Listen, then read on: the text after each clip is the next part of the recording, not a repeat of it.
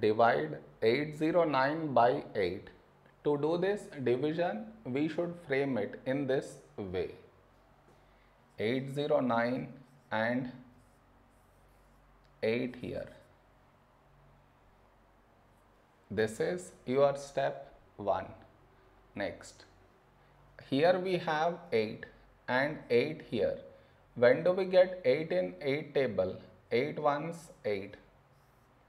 Now we should subtract. We get 0. After this, bring down the beside number. So 0 down. Now here we have 0 and here 8. 0 is smaller than 8. So we should bring down the second number. And the rule to bring down second number is we should put 0 here. Then only we can bring this number down. Now 9. A number close to 9 in 8 table is 8 ones 8.